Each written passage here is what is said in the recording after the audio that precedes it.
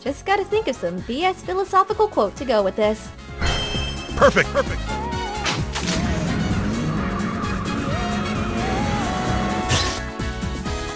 Sweet!